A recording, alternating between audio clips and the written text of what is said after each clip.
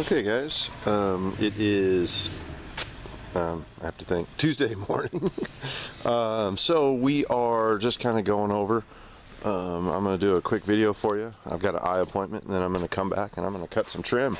Um, the guys are tying up the underneath the bottom deck um, as we speak, so I thought I'd just kind of walk it with the uh, camera and let you see really what's going on.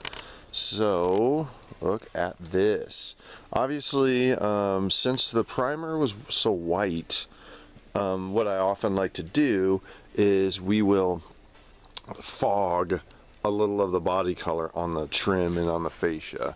Um, we fully understand what color it's going, but it just helps us cover um, when we get into situations that are uh, you know, like just dark colors. And that ironwood plus 50% um, over pure white is a little bit of, uh, of a fun situation. So that's why we do that. So came out really good. Got rid of a lot of the cracks and the holes and all the all the crazy stuff. A lot of paint. Um, it came out really good though.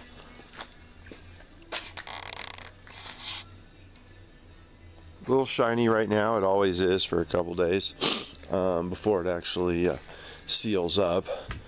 Uh, deck is going to be uh, addressed tomorrow. What we're going to do today is we're going to spray hopefully till about noon and then we'll be completely done.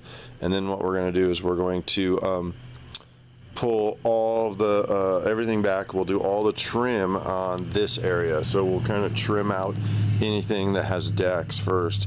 That way we can put a coat down on the decks we can get that whole uh, party started. And then, um, yeah, we got we're gonna have some touch-ups. Uh, we always do when we have this much paint flying, but it should all be completed by today. It should not be that big of a deal. Um, it definitely came out really nice. This camera never really does uh, justice. Let me swing around on you here. Uh, obviously these two doors were done as well. Hopefully when you guys came up you didn't find too much of a mess inside. We're trying to keep just a little bit of the smaller hand tools with us uh, just because it's easier than driving it back and forth in the trucks. Um, look at that. Let me back up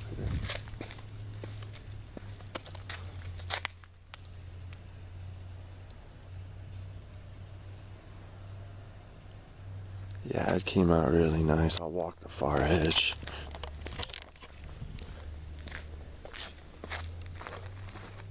Came out really nice. I really like this color, and as does your neighbors. I've had multiple uh, neighbors stop us. We won't tell them what color it is though, but I like to kind of let them see. Oh, okay, so we're. Look at that.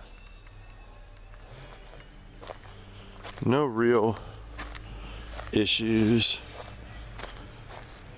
uh, as of yet. Nothing too crazy. So he's already started on some trim. That's what he's going to be addressing right now. And this is kind of what we have left over underneath.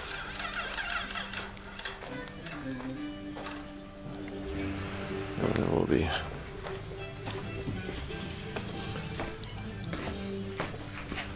through here. Yeah, so this should be relatively quick. We have to watch out, obviously, because the brown that we did. Um, but it should be uh, should be relatively quick. We haven't made too much of a mess. Um, here's our big wall right here. So what we have here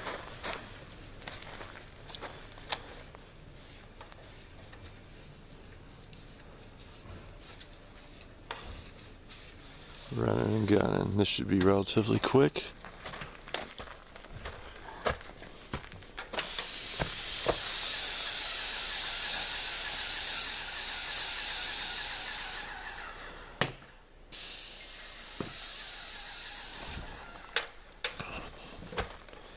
He is moving.